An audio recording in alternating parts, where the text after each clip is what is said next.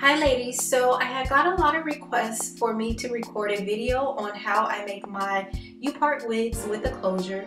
So I decided I will record this video and share my techniques with you ladies.